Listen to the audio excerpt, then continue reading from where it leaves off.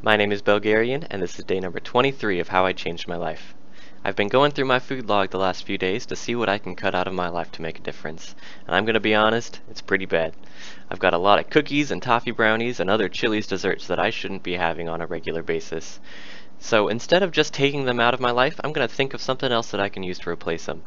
Since I do work at Chili's a lot, I'm on my 11th straight day, of course, I, I want something at Chili's that I can use. So I need something with a bit of sugar to help curb that sugar craving. So I'm going to be sticking with uh, some of the fruits that we I can pick up there. We do sell pineapple and also oranges there, so I can pick up some sides and just have those as a snack instead of eating a full entire brownie or ice cream. Uh, other things that you may look at and want to cut out of your life would include soda or alcohol, or a lot of fried foods tend to be really bad for you. And as I said, you don't want to just remove it, find and think of things that you can replace them with, other things that you enjoy just as much. I really enjoy nuts, fruits, and easily snack on vegetables, so like green beans or even broccoli.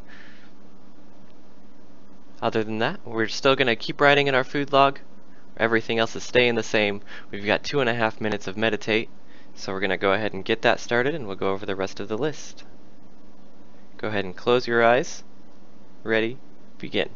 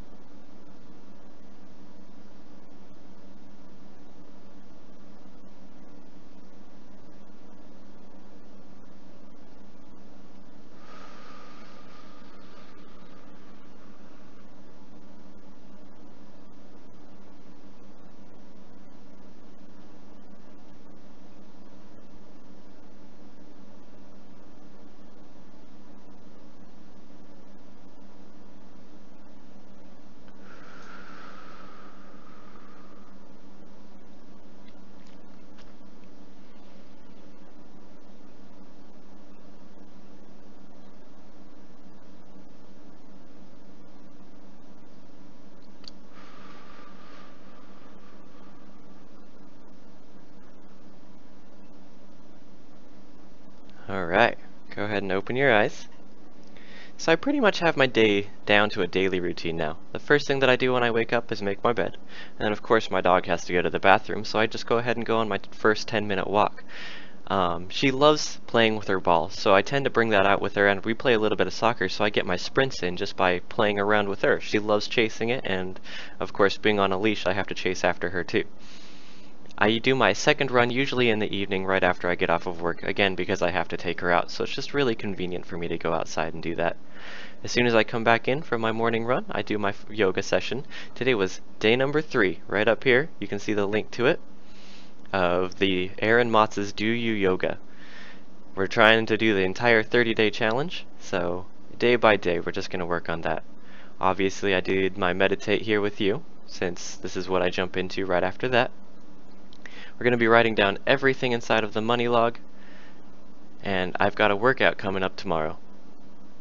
My name is Belgarion. I'm changing my dietary habits to live a healthier lifestyle, and this is how I am changing my life.